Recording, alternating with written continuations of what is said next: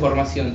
No porque estamos locos, sino porque la verdad, como veníamos hablándolo y lo decimos siempre, digo, el hecho de tener un lugar más en la lista, el hecho de tener un concejal más, eso no significa que nos bajamos de la rosca, ¿eh? que no se malinterprete. No, pero en serio, digo, no significa eh, nada si nosotros no podemos agarrar y cualificar nuestra práctica cotidiana. Eh, hay una realidad que el momento electoral a todos nos lleva a una velocidad media extraña, una temporalidad rara de la política, en donde todo nos parece que pasa por ese lado, estamos todo el día escuchando a ver quién cierra, cómo cierra, quién se baja, quién se sube, y la verdad que para poder analizar eso de la mejor manera y que ese no sea el todo, tenemos que agarrar y tener mayor cantidad de elementos en nuestra práctica política y mayor cantidad de elementos para poder una reflexión crítica de nuestra práctica. Por eso a nosotros nos parece que es importante hacerlo y hacerlo ahora. Cada vez que nos juntamos nosotros a discutir un poco más, a tener más herramientas y cargar nuestra mochila con formación política, lo que estamos haciendo es agarrar y aportar de la mejor manera a llegar a los objetivos que nos planteamos. Eso es, para, es digo, lo central de todo esto. Ahora después cuando expliquemos cómo va a ser el programa, los compañeros van a contar acá cómo van a llevarlo adelante, los que van a ser docentes, van a explicarlo más en detalle. Yo lo que quiero decir es esto. Creo que es importante que hagamos esto, que lo hagamos a conciencia, que entendamos que no existe ninguna receta mágica para formarse, pero para, tampoco existe una receta mágica para hacer política si no estamos formados. Y me parece que nosotros en este momento histórico tenemos que agarrar y ponernos a pensar en eso. Tenemos por delante una elección en octubre en donde no vale la pena agarrar y decir cuatro o cinco veces lo que decimos siempre. La única certeza que tenemos nosotros es que Cristina es nuestra conducción, después lo demás es una incertidumbre y la otra certeza tenemos que tiene que ganar frente para la victoria. Ahora nosotros no podemos agarrar y pensar en aportar ese triunfo frente para la victoria, aportar esa construcción de la conducción de Cristina, aportar esa construcción de organización popular que nos llenamos la boca haciendo todo el tiempo, si no tenemos realmente una práctica coherente con nuestra formación.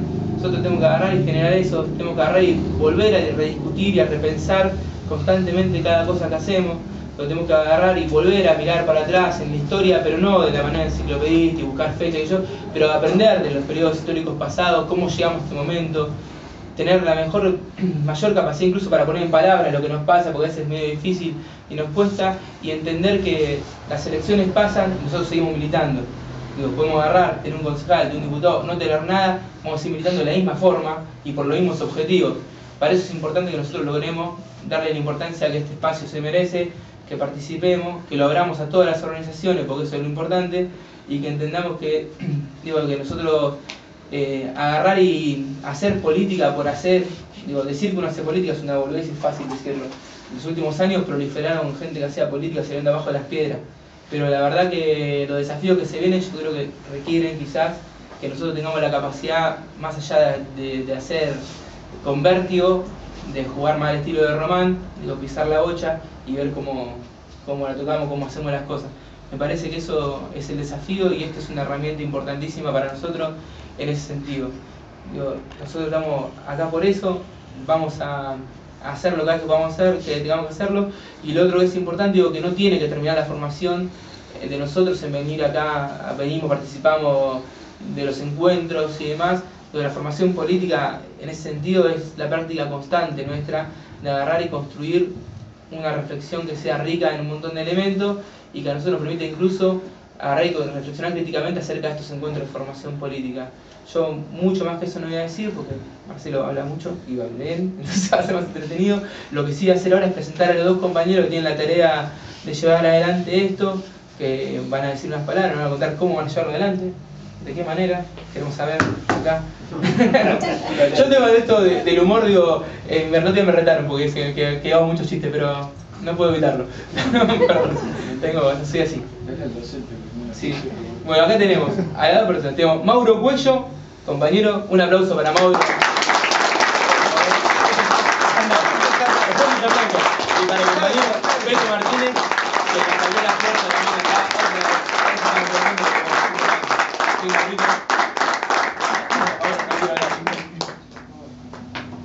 Bueno, eh, eh, me es extraño hablar con un micrófono.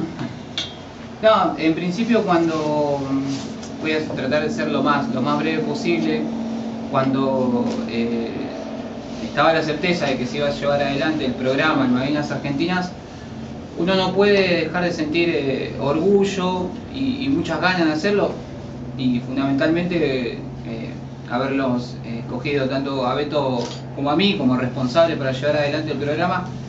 Eh, es una tarea eh, muy gustosa, obviamente, pero que conlleva una gran responsabilidad.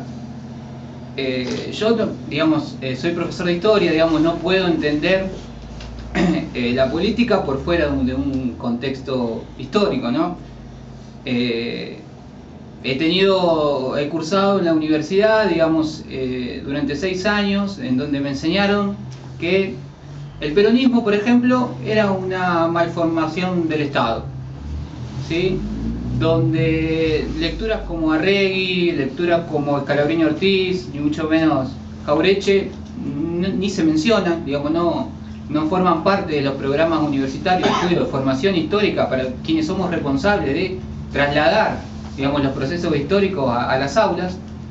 Eh, por lo tanto, digamos, eh, siempre obviamente bajo un prisma eh, liberal, ¿no? La Academia Argentina fundamentalmente está estructurada bajo una mirada liberal y, bajo eso se desprende todo lo demás.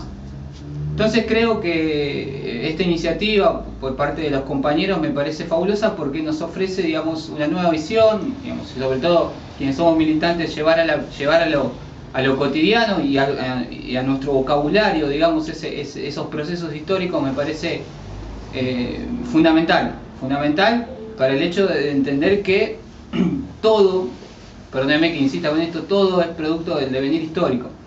Lo importante es entenderlo, ¿no? La historia, además de explicar, nos tiene que ayudar a entender, entender nuestra realidad, nuestro pasado y probablemente pensar a futuro.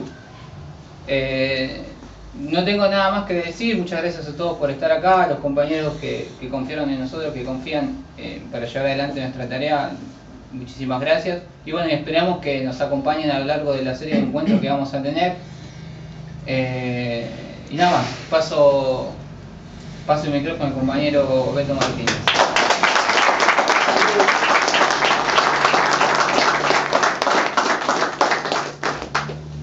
Bueno, eh, yo no puedo hacer más que decir que soy coordinador, ni siquiera soy docente, así que docente acá lo tenemos Maurito, que, ha estudiado, se quemó los, ojos estudiando, y bueno, y es bueno que un peronista también pueda estudiar, ¿no? Porque muchas veces vemos universitarios con, grandes títulos, grandes honores, y se olvidan de que hay muchos hijos de obreros que, que no pueden llegar a la universidad. Y sin embargo estos obreros son los que pagan la universidad de aquellos profesionales que a veces aparecen, son muy renombrados y van a Estados Unidos y van a Harvard. Y la universidad pública la pagamos entre todos, con el esfuerzo de todos aquellos que, que a veces no la pueden terminar y que ni siquiera algunos la pueden empezar. Y este, y este proyecto ha hecho cosas muy profundas como colocar universidades en todo el conurbano bonaerense, que no recuerdo cuántas son, pero deben ser más de 12 universidades, 9, universidades en el conurbano, y eso es importante porque también las estadísticas muestran que un 80% de esos alumnos son primera generación de universitarios. Eso quiere decir que ni su papá ni su mamá han ido a la universidad. Y hay otras estadísticas que hablan de que incluso es mucho más difícil para aquellos alumnos que no tienen padres universitarios terminar la universidad, porque no hay un ámbito académico familiar que facilite esa cuestión. Eh, pero bueno, para no teorizar demasiado, yo quería hacer un chivo, y espero que me lo permitan, pero es un chivo histórico.